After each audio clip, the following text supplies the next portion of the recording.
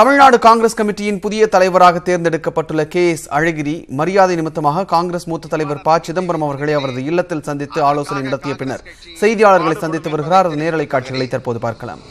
இயக்கத்தை அமைப்பு ரீதியாக பலப்படுத்த வேண்டும் என்பதுதான் என்னுடைய முதல் குறிக்கோள். சிறந்த அமைப்புள்ள ஒரு அரசியல் இயக்கம்தான் வெற்றியை ஈட்ட முடியும். எனவே அந்த வகையில் காங்கிரஸ் கட்சியினுடைய அமைப்பை பலப்படுத்துவதற்கு மூத்த தலைவர்களுடைய துணையோடு பெரும் பங்காற்றுவேன் என்பதை இந்த நேரத்திலே நான் கூறிக்கொள்கிறேன். டாக்டர் கலைஞர் அவர்கள் நேருவின் மகளே வருக நிலையான ஆட்சி தருக என்று அன்னை இந்திரா காந்தியை பார்த்து சொன்னார்கள். அதே போல சோனியா காந்தியை பார்த்து சொன்னார்கள்.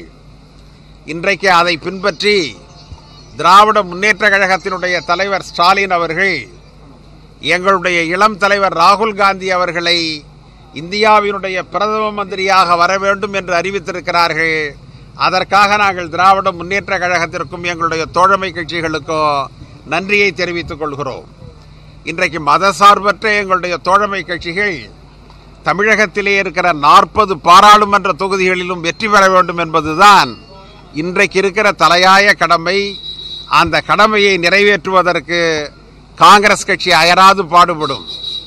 அது மட்டுமல்ல இந்தியாவினுடைய வளர்ச்சியை தமிழகத்தினுடைய வளர்ச்சியை மோடி அரசாங்கமும் எடப்பாடி அரசாங்கமும் அந்த வளர்ச்சி சக்கரத்தை பின்னோக்கி தள்ளி கொண்டிருக்கிறார்கள்.